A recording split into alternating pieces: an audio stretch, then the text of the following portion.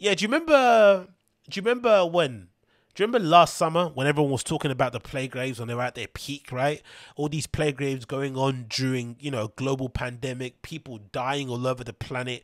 We still haven't got, we still hadn't had a control or any sort of idea of where this virus actually originated from. And here they were, all these DJs who you would assume had the funds in order to kind of weather this storm, out playing in some of the most desolate and you know places known to man, in some of you know maybe more glitzier places, um, in an effort to kind of take away the attention from this virus that we were kind of all kind of suffering from, right? It didn't make any sense at the time. It really didn't make any sense. But over time, people kind of grew to understand and accept it and just move on and not get so triggered by the whole playground things that is what it is.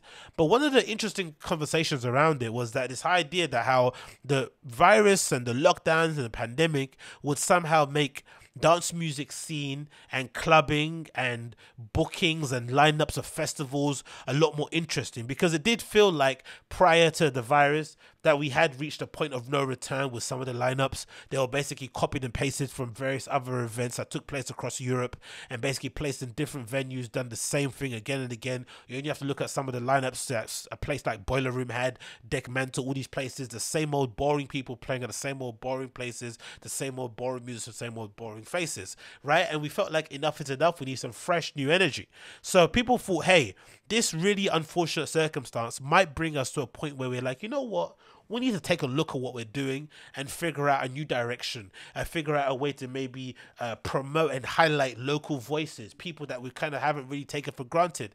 And one of the places that was really talking about this was London, where I live, right?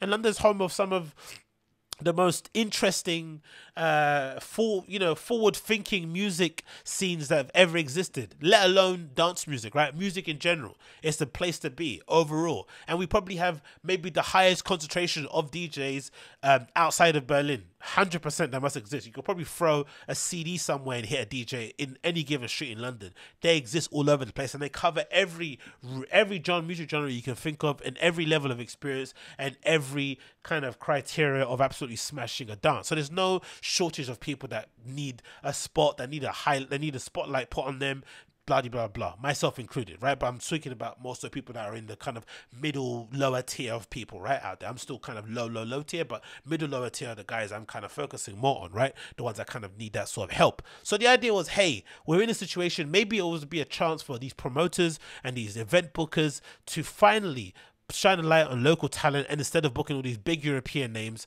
and that would be the kind of legacy of the virus that we have this more diverse, localized scene for the interim, right? For the short period of time, people are scared to travel, and then when things open up, it'll be a far more diverse and interesting lineup when you go see places. It won't just be, you know, a regurgitation of. I never bought that. I never bought that. I knew that was all a bunch of gobbledygook. And my first inclination was that was the Playgraves themselves. Every Playgrave that I saw, with the exception of a couple that happened in Ukraine and maybe a couple also that happened in was it? Yeah, Ukraine was the only one. Yeah, Ukraine only, uh, especially towards maybe the end of last year, right? Ukraine, where loads of people like Freddy K, who was you know going on about people going to playgrounds and he ended up going to one himself or whatever it may be called, blah blah blah. Who knows? Who cares? But with the exception of a couple, most playgraves contained some of the biggest names in dance music, right?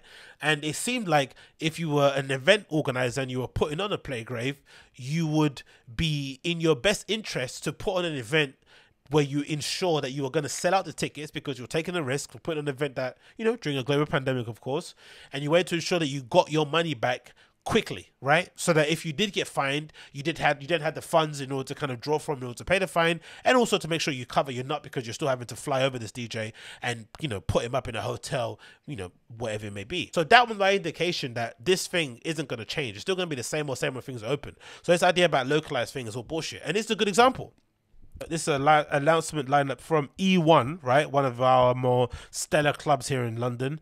A club that I went to go see Mind Against Play uh, sometime before the lockdown, and they just announced their uh, reopening schedule for DJs, so reopening their reopening events, and you know a list of people who are going to be playing on certain days. And just look at the names.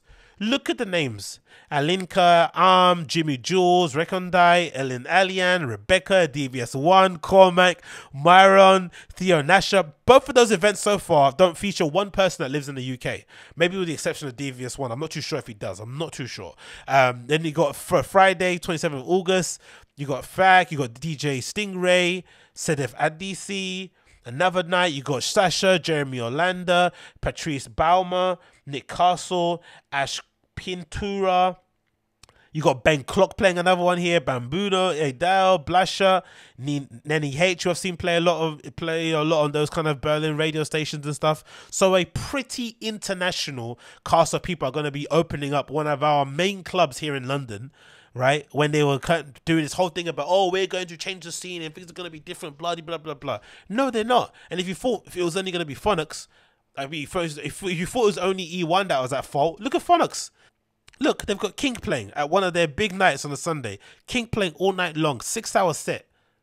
And if you look at the list, oh, it's only, it's only that one event. No, it isn't. Jeremy Underground's playing on one of their first events back from lockdown. I love I love from outer space, which obviously is going to be awesome with DJ Harvey playing, right? Um, Rhadoo playing all night long on a Saturday. Jayda G, of course, you know maybe UK adjacent with her with her flipping Canadian links. But oh my god, every single lineup so far just features a complete international cast of DJs. So again, I'm not too bothered about it for me personally because it doesn't affect me. Again, like I said, I'm a lower tier DJ. I would say most of the mid mid tier DJ are the ones that need to kind kind of be worried a lot more because it looks like they've ne- they, they, there's never going to be an opportunity where you're going to have the chance to play at these big clubs and get a chance to maybe play in front of these audiences, cultivate an audience or cultivate a fan base, uh, put your name amongst some of these heavy hitters, and just generally get comes to grips with playing in those kind of spaces, right? There's something about going from playing in a bar or in a basement nightclub somewhere and then playing in a place like E1, which is what,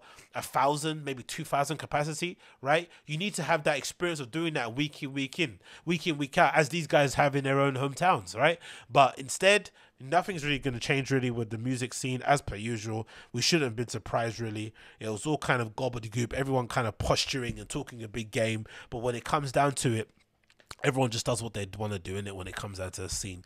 Everyone just does what they want to do.